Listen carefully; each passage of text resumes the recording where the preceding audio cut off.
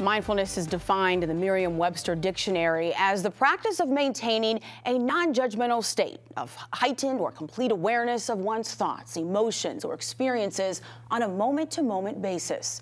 Its roots are grounded in Buddhist teachings, incorporating key principles such as awareness, acceptance, tolerance, and compassion. And now mindfulness has gone mainstream and is being used by everyone from psychologists to elementary school teachers.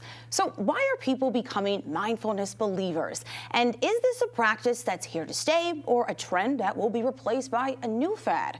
Joining me for this conversation is Bodhin Kjolhede, abbot and director of the Rochester Zen Center, and Judy Zettek, facilitator of the Mindful Meditation Ministry at St. Stephen's Episcopal Church. And it's great to have both of you here. Thank you. Thank you. Thank you. So there are hundreds of articles and research papers and books about the power of presence and mastering the mind and creating a clearer mind and so on, all connecting back to mindfulness. And I, have heard mindfulness referred to as this inward awakening. And I'd like to, for both of you to respond to this. Why do you believe this practice is so transformative? I would just say from 44 years of doing it, it's uh, and working with other people, uh, students of mine and, and others. Uh, it's just uh, undeniable that it. it, it uh, what I often say is that um, our, the quality of our life is determined more by the mind than by our circumstances and conditions that we are in. The mind, everything goes through the mind. The mind affects everything. So it is the most intelligent thing to pay attention and, and to what to how we're paying attention to really be aware of what's going on around us and what's going on within us. Judy?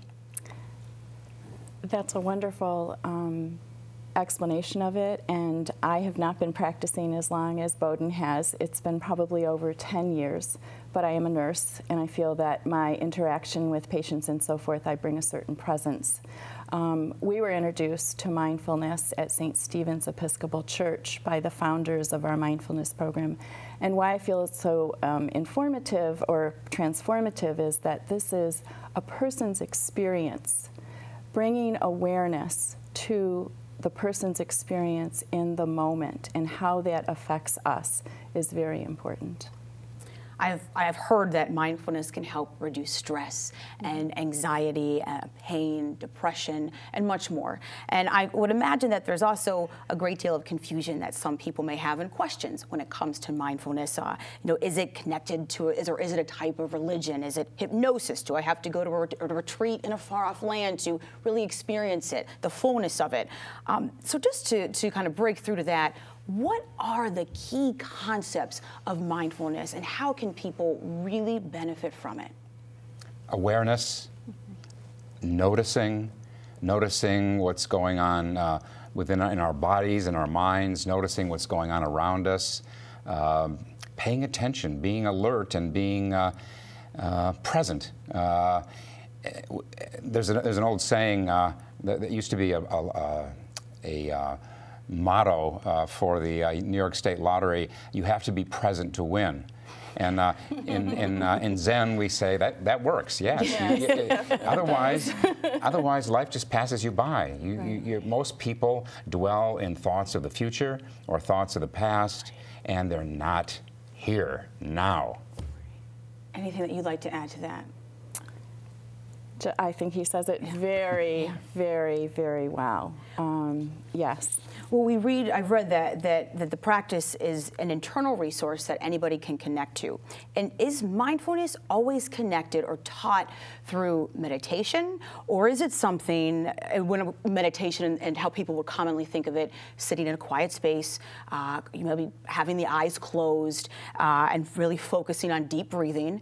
Or it, can it be incorporated in everyday life and, and really that moment to moment living, driving in the car to work, you know, while exercising, while making dinner, and, and things of that nature? all of the above. It, yes. it, has to be it has to be integrated into our daily lives. Mm-hmm. Otherwise, it's just a kind of precious little formal thing where you're shutting out the world. Uh, it has to be uh, all the time. Driving, you mentioned driving. Driving is the uh, a superb where, place to practice mindfulness. You have to notice, you have to anticipate what others are doing. Driving defensively is is noticing, and even uh, noticing when there's ice, icy conditions. All of this, everyone has to has to learn to do mindfully. Otherwise, you pay a price. Mm -hmm. Judy, I understand St. Stephen's launched a mindful ministry back in 2005.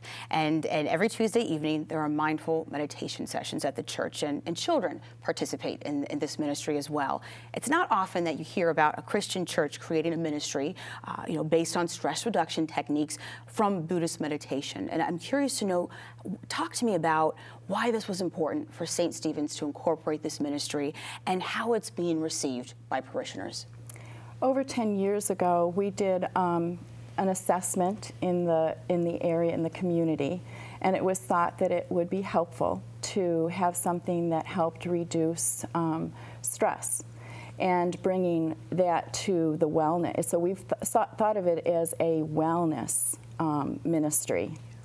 And it was founded by two people um, who have since moved to the South, and we refer to them very very affectionately as Mindfulness South. But the thought was that if we could provide a space and also some opportunity for people to come and practice that once a week and so forth with meditation, as what um, Bodhin has been talking about, that that was something that we could offer. it's to the Rochester community, not just the parishioners of St. Stephen's. And it is um, based on the teachings of Jon Kabat-Zinn, who started this over 25 years ago, mindfulness-based stress reduction at the Center for Mindfulness, University of um, Massachusetts Medical Center.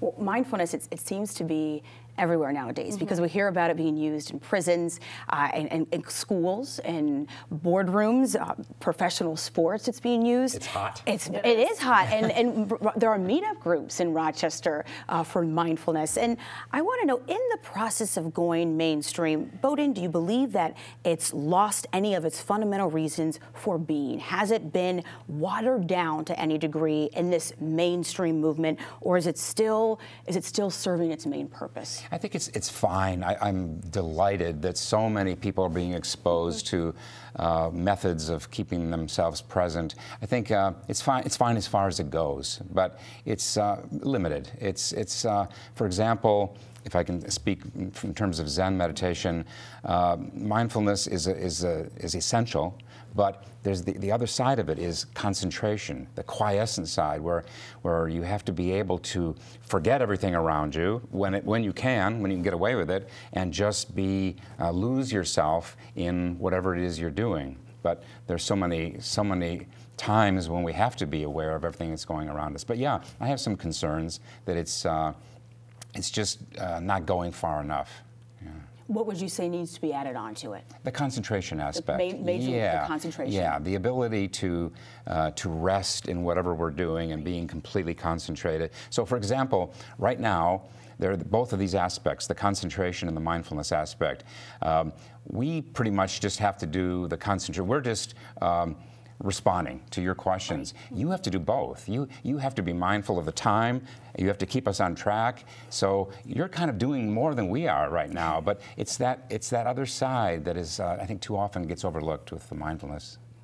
So for people watching right now, and sometimes it might be hard for them to really picture what we're talking mm -hmm. about, how would you describe to them if they say, I want to try this for myself because it sounds good and it sounds like something that I can incorporate in my own life, what piece of advice would you give or what suggestion would you give so that they can incorporate this into their own lives?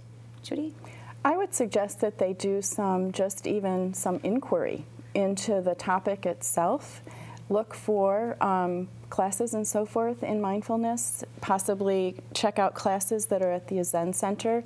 Come visit us on Tuesday evenings um, at 7 o'clock and sit in. We do some guided meditation and some poems, and then also explore some work, like we would, we would prepare some talks that we could then um, explore a bit about mindfulness and so forth as a group and get reflection and talk about how this has affected people's lives and so forth. So I too worry a little bit about it being just a buzzword. Right. and that if it's going to be more than just a thought or a philosophy, that it, it does need that practice. It's a way of being in our everyday life.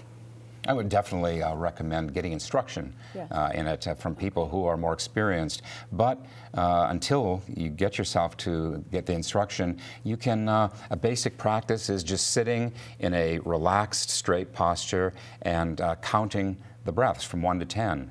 That is an exceedingly difficult thing to maintain the count from 1 to 10 because thoughts keep pulling our minds away. So it can be quite humbling uh, to do even that kind of simple uh, practice. Yeah. Judy Zettek and Bodhin Kjolhede.